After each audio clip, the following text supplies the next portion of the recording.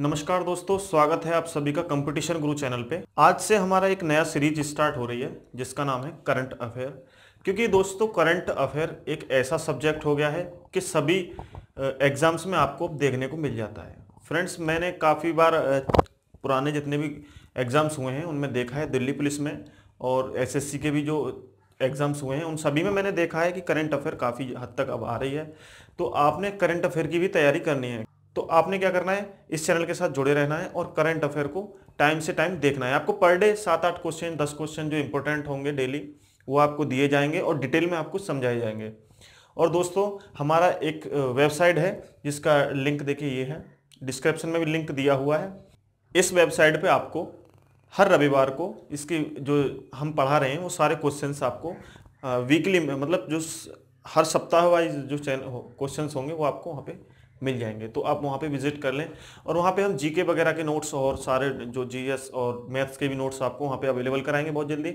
आप एक बार विज़िट करिए और देखिए वहाँ पे काफ़ी अच्छे अच्छे आपको क्वेश्चंस मिल जाएँगे। रेलवे के लिए जो इंपॉर्टेंट क्वेश्चन है, यूपी पुलिस के जो लिए जो इंपॉर्टेंट क्वेश्चन हैं, वो भी आपको लगभग तीस चालीस क्वेश्चन आपको पर डे दिए जाएँगे। आप डेली उसे पढ़ा पढ़ा करें और प्रैक्टिस किया करें और उसके बाद पर डे आपको मिलेंगे। उसके बाद नेक्स्ट डे नेक्स्ट डे रोज़ देखा करें। इस चैनल पे भी आपको हर तरह की वीडियो, जो भी एग्ज़ाम से रिलेटेड होंगी, इंग्लिश की भी हम काफ़ी जल्दी सीरीज़ स्टार्ट करने जा रहे हैं। हो सकता है आपको चार पाँच दिन में उस वीडियो मिल जाए आपको। तो आपने चैनल को सब्सक्राइब करना है, वीडियो अच्छा लगे तो लाइक करना है दोस्तों। और जो वेल आइकन है, उसको ज़रूर आपने प्रेस करना है। उससे आपको नोटिफिकेशन पर डे, जब भी हम करंट अफेयर की या कोई भी वीडियो अपडेट, अपलोड करेंगे, उसको आपको जानकारी हो जाएगी। कि रेलवे में और यूपी पुलिस में कई सब्जेक्ट हैं और सब्जेक्ट्स की तैयारी हम करा भी रहे हैं और सब्जेक्ट्स की भी। और आपको करंट अफेयर की तैयारी तो हम पर डे कराएँगे कराएँगे। तो आपने करंट अफेयर की वीडियोस पर डे देखनी है, क्योंकि रेलवे में भी काफ़ी जगह निकली हुई हैं। साठ, पैंसठ हज़ार से बढ़ाकर अब ज़्यादा कर दी हैं। पहले साठ, बासठ हज़ार के करीब थी, अब बढ़ा दी हैं। यूपी पुलिस ने भी अच्छी पोस्ट निकली हुई हैं, तीस हज़ार, बत्तीस हज़ार जो भी पोस्ट निकली हुई हैं। और उसके बाद बात करें हम दिल्ली पुलिस की तो दिल्ली पुलिस में भी काफ़ी जगह निकलने वाली हैं। उसमें भी लगभग जल्दी आपको दो चार, एक दो महीने में ही काफ़ी तीस पैंतीस हज़ार, चालीस हज़ार जगह वहाँ से भी आने वाली हैं तो आपने प्रैक्टिस करनी, ठीक है? आज हम स्टार्ट करते हैं करंट अफेयर और करंट अफेयर में दोस्तों हम कुछ इंपोर्टेंट क्वेश्चंस को लेके चलेंगे, ठीक है? जो 100 परसेंट आने ही आने हैं क्वेश्चंस हम ये नहीं कह सकते कि यूपी पुलिस में या दिल्ली पुलिस में, लेकिन हर एग्ज़ाम में, किसी भी एग्ज़ाम में देखोगे तो इनमें से कोई ना कोई क्वेश्चंस तो आपको ज़रूर मिलेंगे। ये सारे क्वेश्चंस ऐसे हैं जो बहुत ज़्यादा इंपॉर्टेंट हैं, ठीक दोस्तों, पहला क्वेश्चन कह रहा है हमसे, पूछ रहा है, पहला क्वेश्चन क्या पूछ रहा है? किस विदेशी द्विपक्षीय दौरे पर सर्वाधिक रन बनाने वाले कप्तान कौन है? ये आपको चार ऑप्शन दिए हुए हैं। Graeme Smith Virat Kohli, Kumar Sangakkara Martin Crowe इसमें जो सही क्वेश्चन है, जो ठीक आंसर है, वो, जो सही आंसर है, वो है विराट कोहली। विराट कोहली है। अब हम थोड़ा सा और समझ लेते हैं विराट कोहली के बारे में। क्या समझेंगे? इन्होंने जो है उपलब्धि दक्षिण अफ्रीकी दौरे पर तीनों फॉर्मेट तीनों फॉर्मेट कौन कौन से हैं? पहला फॉर्मेट है test one day T twenty test plus one day और टी ट्वेंटी ये तीनों फॉर्मेटों में इन्होंने क्या किया? इन्होंने चौदह पारियाँ खेली और चौदह पारियों में आठ सौ इकहत्तर रन बनाए। चौदह पारियाँ खेली और इन्होंने आठ सौ इकहत्तर रन बनाए। पहला स्थान हासिल किया यहाँ पे। इससे पहले अगर हम बात करें, कहाँ पे इन्होंने किया? दक्षिण अफ्रीका दक्षिण अफ्रीका के दौरे पर। तो ये चीज़ और आपने याद रखनी है। ये चौदह पारियाँ खेली, आठ सौ इकहत्तर रन बनाए। किस दौरे पर? दक्षिण अफ्रीका दक्षिण अफ्रीका, ये याद और रखना है आपने। दक्षिण अफ्रीकी दौरे पर। किस दौरे पर बनाए थे ये? दक्षिण अफ्रीकी दौरे पर। इससे पहले कौन थे? तो पूर्व दक्षिण अफ्रीकी कप्तान ग्रैम स्मिथ का रिकॉर्ड था। अब से पहले जो इन्होंने रिकॉर्ड तोड़ा है, वो किसका रिकॉर्ड तोड़ा है? Graeme Smith. ये जो ये जो आपको ऑप्शंस मिलते हैं, ये मैक्सिमम एक जैसे ही क्वेश्चन मिलते हैं तो आपने डाउट नहीं होना है। अब फ़िलहाल कौन है? विराट कोहली। ये तो आप भूलेंगे ही नहीं। इससे पहले ग्रैम स्मिथ थे। ग्रैम स्मिथ कहाँ के थे? पूर्व दक्षिण अफ्रीकी कप्तान थे।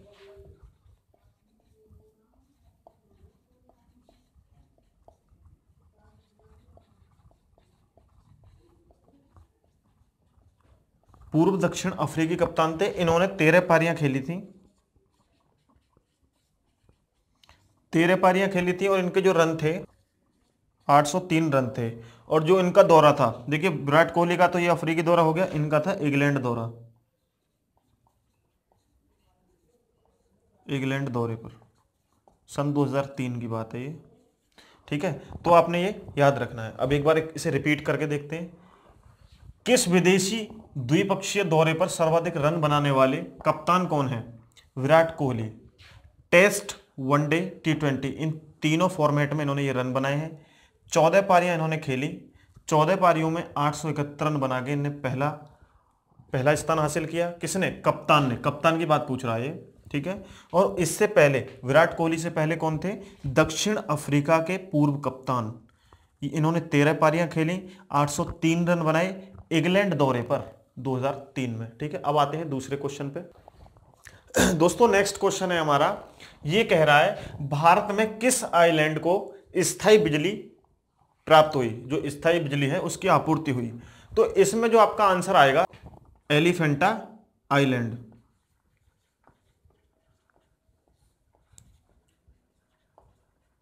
अब दोस्तों, हमने एलिफेंटा आइलैंड पढ़ लिया। अब जब हम यहाँ तक आए हैं तो थोड़ा सा तथ्य और जान लेते हैं, क्योंकि हो सकता है इससे रिलेटेड कोई और क्वेश्चन आपसे पूछ लिया जाए तो हम इसमें थोड़ा सा और समझ लेते हैं। इसमें क्या है? जब से देश आज़ाद हुआ है, सत्तर साल में ये ऐसा पहली बार हुआ है कि आइलैंड पर, किसी इस आइलैंड पर, भारत में जो एलिफेंटा आइलैंड है, उस पर स्थायी बिजली की आपूर्ति की गई है। वो सत्तर साल में पहली बार ऐसा हुआ है। और हम बात करें एलिफेंटा आइलैंड है कहाँ? तो एलिफेंटा जो आइलैंड है, ये महाराष्ट्र में महाराष्ट्र में है, मुंबई में, ठीक है? जो यूनेस्को एक संस्था है यूनेस्को एक संस्था है।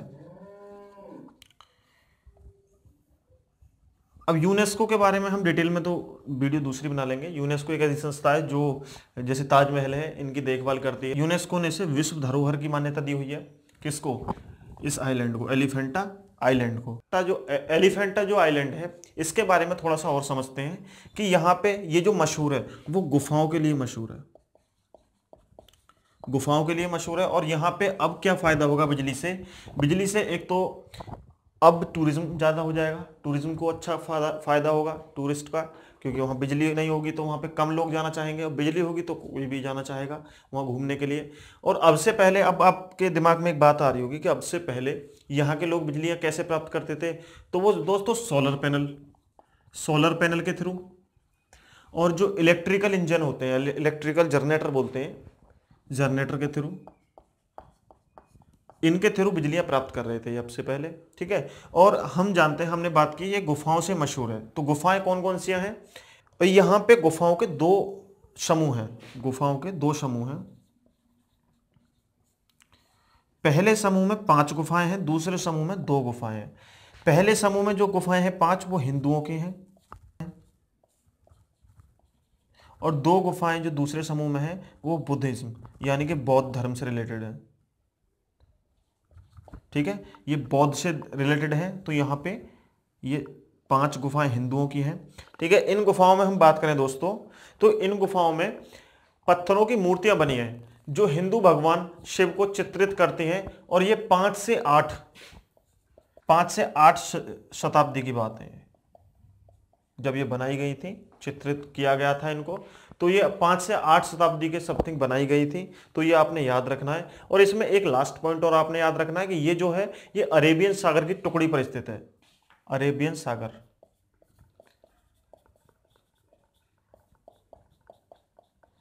ठीक है, अरेबियन सागर की टुकड़ी पर स्थित है। तो ये आपने याद रखना है। ठीक है, अब नेक्स्ट क्वेश्चन पे चलते हैं। फ्रेंड्स आते हैं नेक्स्ट क्वेश्चन पे। ये क्वेश्चन कह रहा है, किसने लड़ाकू विमान में अकेले उड़ान भरने वाली पहली भारतीय महिला बनकर इतिहास रच दिया? ऐसी कौन सी महिलाएँ जिन्होंने पहली बार जो एयरफोर्स का जहाज़ होता है, लड़ाकू विमान, वो चलाया? सबसे पहले हम बात करें तो उनका नाम लिख लेते हैं, अवनी चतुर्वेदी। अवनी चतुर्वेदी ने ऐसा पहली बार किया है, ठीक है? इससे पहले हम बात करते हैं कि जो 2015 सन था, उससे पहले महिलाओं को परमिशन नहीं थी जहाज़ उड़ाने की जो पायलट बनने की जो एयरफोर्स के जहाज़ होते हैं लड़ाकू विमान होते हैं उसमें महिलाएँ पायलट नहीं होती थी 2015 से पहले। 2015 के बाद ये स्वीकार किया गया ये परमिशन ग्रांटेड की गई। 2015 में ये जब परमिशन मिली तो 2016 में कुछ आ, महिलाओं को सेलेक्ट किया गया। 2016 में किन किन को सिलेक्ट किया गया? 2016 में हम बात करें तो एक तो सबसे पहले भावना कंठ को भावना, कंठ को। और दूसरी महिला थी मोहना सिंह। मोहना सिंह। इन दोनों को चुना गया और एक तीसरी थी अवनी चतुर्वेदी। इन तीनों को चुना गया, जिनमें से अवनी ने अकेले ऐसा किया कि विमान उड़ाया बिना किसी और के साथ लिए। ये अकेले ही इन्होंने प्लेन को उड़ाया। तो इन्होंने अकेले ही लड़ाकू विमान को उड़ाया और कहाँ से उड़ाया? ये भी जानना बहुत ज़रूरी है। गुजरात में एक जामनगर जामनगर बेस है, जो एयरफोर्स का है, ठीक है, गुजरात के जामनगर में। यहाँ पे एक जहाज़ है, उसका नाम था, जो लड़ाकू विमान है। लड़ाकू विमान का नाम था, जो लड़ाकू विमान है, उसका नाम था MiG twenty one Bison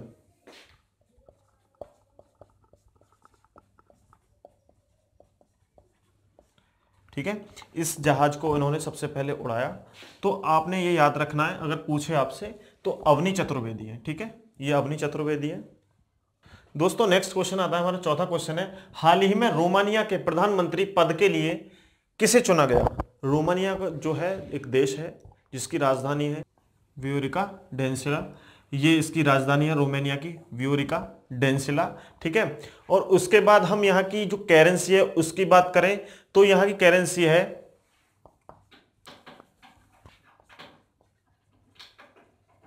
currency है यहाँ की रोमानिया। Romanian live. तो दोस्तों, यहाँ की जो करेंसी है, वो है रोमानियन लिव, ठीक है? हिंदी में मैं लिख देता हूँ। रोमानियन लिव यहाँ की जो करेंसी है, उसका नाम है। हम आगे बढ़ते हैं और जानते हैं ये कि ये किस पार्टी से थी Dancila Dancila Romania social democratic party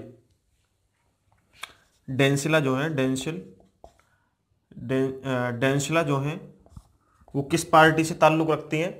तो उनकी जो पार्टी है उसका नाम है, उनकी पार्टी का नाम है Romani, Romania, social social, Romania social democratic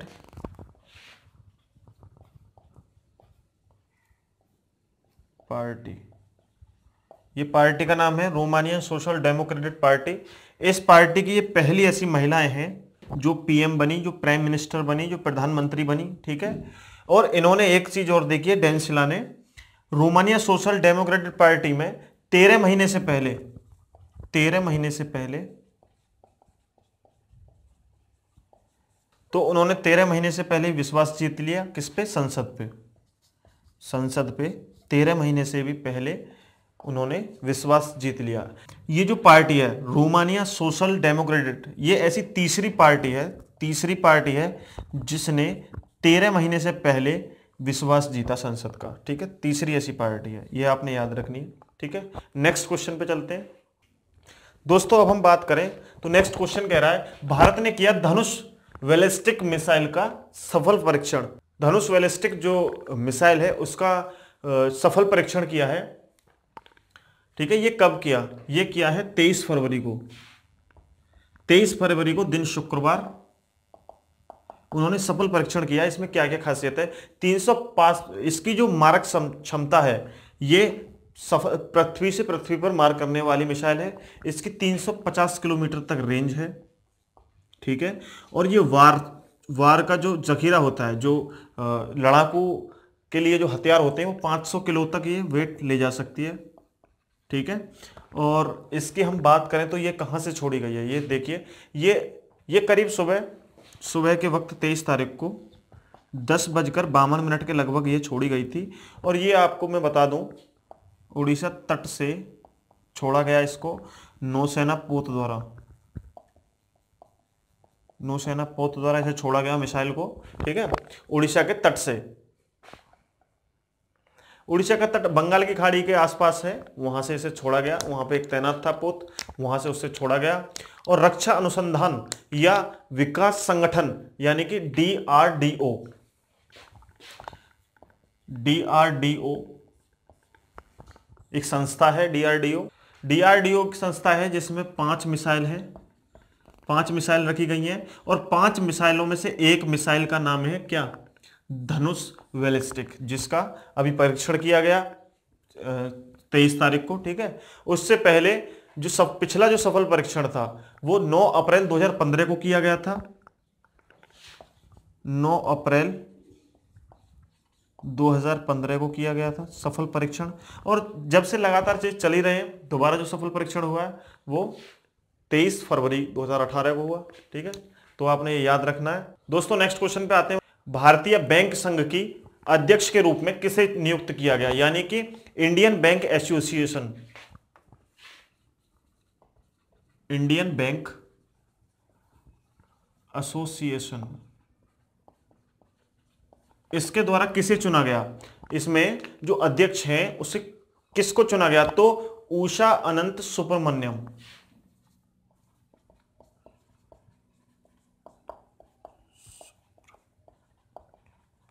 Usha अनंत सुब्रमण्यम को चुना गया है। ये वर्तमान में इलाहाबाद बैंक में एमडी इलाहाबाद बैंक में किस किस पद पे है? एमडी के पद पे हैं और मतलब एमडी भी हैं और सीईओ भी हैं।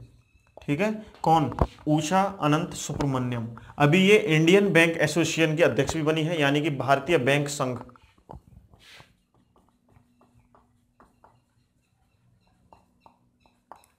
ठीक है? तो आपने ये याद रखना है, इसमें मैं ज़्यादा अब नेक्स्ट आगे नहीं बताऊँगा इसके बारे में, इतना बहुत है। दोस्तों नेक्स्ट क्वेश्चन है हमारा, किस राज्य में एक जिला, एक उत्पाद परियोजना शुरू की गई? यानी कि one one district one product scheme one district one product scheme लागू की गई, ठीक है?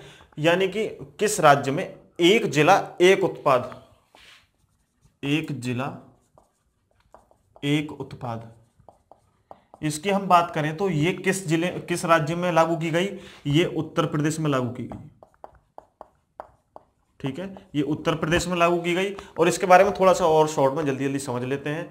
देखिए, इस इस योजना के माध्यम से, इस योजना के माध्यम से स्थानीय कौशल का विकास तो होगा ही होगा।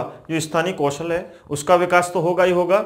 इससे वस्तुओं का निर्यात भी अधिक मात्रा में लॉन्च किया गया। इसको 24 जनवरी को 24 जनवरी 24 जनवरी को हम एक चीज़ और समझ लेते हैं। उत्तर प्रदेश दिन है ये। उत्तर प्रदेश दिवस। हम 24 जनवरी को उत्तर प्रदेश दिवस के रूप में बनाते हैं और इसी दिन, इस इस दिन 24 जनवरी को ही इस स्कीम का भी उद्घाटन किया गया। एक जिला, एक उत्पादन को भी लॉन्च करने की डेट 24 जनवरी है और उत्तर प्रदेश दिवस भी 24 तारीख को ही मनाया जाता है 24 जनवरी को। ठीक है दोस्तों, इस वीडियो में इतने ही क्वेश्चन काफ़ी लंबी वीडियो हो चुकी है। नेक्स्ट वीडियो आपको मिलेगी कल। करंट अफेयर की। तो जिस टाइम आज आपको मिल रही है, उस नेक्स्ट वीडियो भी आपको इसी टाइम पे मिलेगी। 10-15 मिनट का फ़र्क हो सकता है दोस्तों। वीडियो अच्छा लगा हो तो लाइक कर दें और वेल आइकन को दबा दें, जिससे आपको नोटिफिकेशन मिलता रहे डेली थैंक यू दोस्तों।